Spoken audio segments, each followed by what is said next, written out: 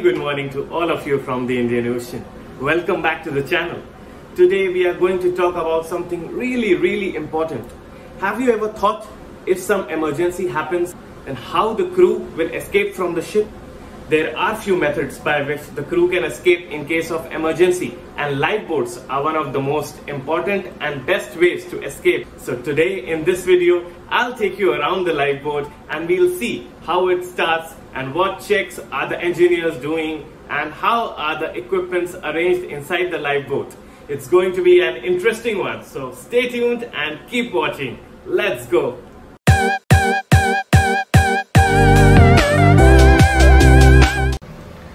So to begin with, this is how the inside of a lifeboat looks like.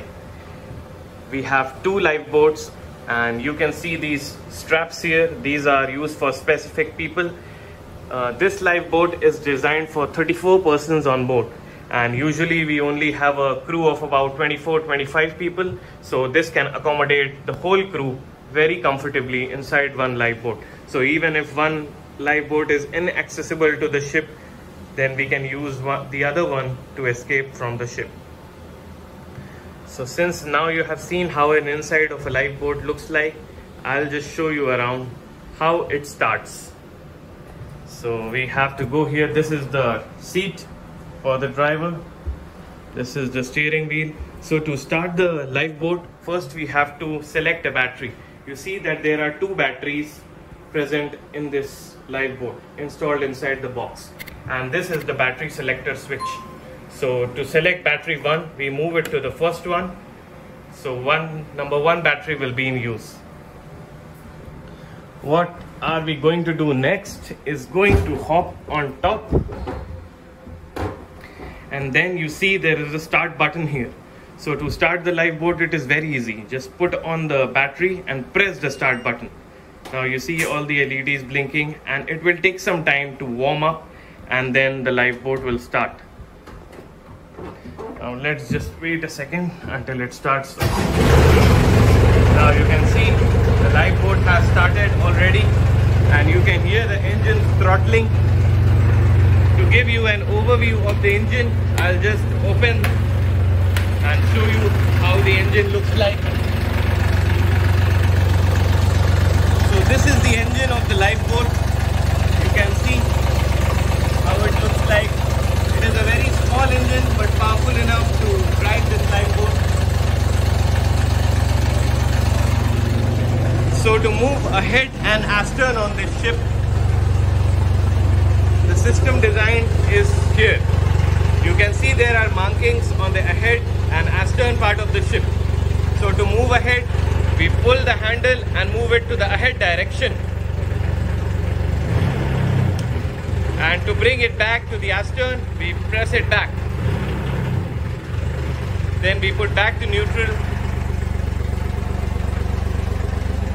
When the lifeboat is running, we can also perform some checks like for example the navigation lights, the cabin searchlight checks. You can just put it on and check inside the cabin whether the lights are on or off. I'll just stop the lifeboat for now. To stop, it is very easy. Just press the stop button. And this is one of the few duties that everybody on the ship must know when they are joining. So for the weekly checks of the lifeboats, the engineers have to come and inspect the lifeboat engine a little bit. So I'll tell you the basic checks that we are doing for the weeklies. So for the engine, we have to check the oil in the level sump. There's a dipstick here which we can pull out and check the oil inside. Here you can see, now we took out the dipsticks. There are some markings between high and low level here and we must check that the oil is sufficient enough inside the sump of the engine. So this is one of the checks. Then there is also a coolant cap there so we open the coolant cap and check there is sufficient coolant inside the engine so that it can even operate at very low temperatures. And uh, there is usually antifreeze filled inside with some mixture with the water and depending upon the temperature with which the engine wants to be maintained, we choose a proportion of the antifreeze and water and put it inside the engine. We also check the tightness of the belt of the engine and in case if it is very loose then we need to open or even change the belt. So these are the few basic checks. The filters and all that you are seeing here, they are usually done in three monthly or six monthly checks. So for now, we just check that the engine is operating properly. And then we also have a look on the other part of the engine. Here you can see there is a mechanical seal here just near to the stern tube. So we have to check that whether it is tight or not and uh, the shaft we can see when the engine is moving then we can see it rotating. Here you can also see one orange hose here which is connected to a handhold bilge pump. So in case there is too much water gets inside this lifeboat we can use this hand pump with this lever and you know stroke it from here put it inside here and stroke it to get the water outside of the ship. You see there is a connection that is going outside then next we come here, there's an emergency tiller which we can take out this handle and put it inside here. So in case the main steering fails, we can put this emergency tiller inside and control the movement of the rudder and the direction in which the ship is moving. Rest, the next thing that we can see is the release mechanism. So there is an on-load release mechanism that is designed for the ship. So if the ship is just one meter above the water, we can use this on-load release mechanism and the procedures are always prescribed inside the lifeboat on how to release it. So you can see, ensure to remove the safety pin and then check the hydraulic indicator in the red area, then pull out the red safety pin and then pull out the bar and then push it backwards. In this way we can normally release. There is also an option of emergency release. So once we are inside the lifeboat, we are aware of all these procedures yeah. So the next thing that we can check is always before launching the lifeboat the drain plug should be kept inside. So if the drain plug is not kept inside then there will be water ingress inside the lifeboat and it will get flooded. So you can see here this long rod and inside below this is the drain plug.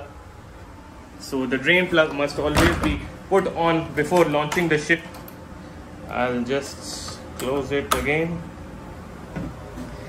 then next we have the fuel tank here, the fuel tank of the lifeboat. It contains diesel oil with a capacity of 150 liters inside this uh, container here and we can open this cap provided here and check the level of oil which I have already done so I won't do it again. Then on the next side we have some inventory here and it contains all the pyrotechnics, first aid kits and other equipments that are necessary for the running of the lifeboat. They also include some tools and some special equipments etc. Then next we look, we have a place for fresh water here. So if people go inside the lifeboat, then they of course need water and food to survive because in the ocean you cannot find any water so inside there is some water pouches that are provided. You can see like this. So these are the emergency drinking waters. 500 ml these are provided in plastic pouches and can be used by the crew of the ship. There is a specific quantity that is allotted to each of the crew. Next what we can see here is the food tank. It shows 34 pieces. So if we open this we'll find what food is inside.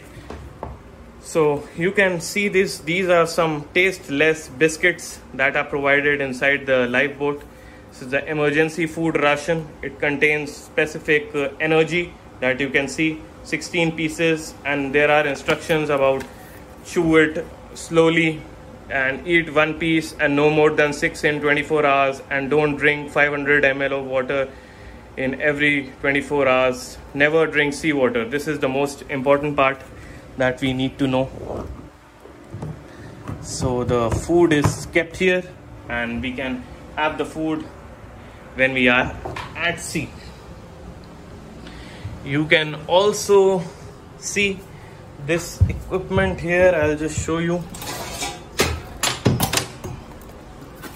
this is the radar reflector that we put outside the lifeboat once we are about to launch the lifeboat this will increase the signals of the radar and then we'll be in a better rescue position by other ships. We also have one fire extinguisher that is provided here just in case we have a fire inside the lifeboat so we can release the fire extinguisher and extinguish the fire and we also have few oars you can see here. They can be used in case of emergencies to drive the ship. Yes so this was a basic tour of how a lifeboat looks from the inside. The 34 person capacity lifeboat is strong enough to bear the people in case of a stormy weather. And that is how we are trying to create a backup for us to escape in case of any emergencies. So guys, I hope you like and enjoyed this video. If you like to see or know more about other equipments on the ship, please tell me in the comment section. We often have a lot of drills on board which train us for the emergency situations. But for now, I have a drill for you. You need to follow three simple steps that are like the video, share the video and subscribe to the channel. I'll see you guys next time with another video and another day at sea. Thank you so much for watching. Bye bye.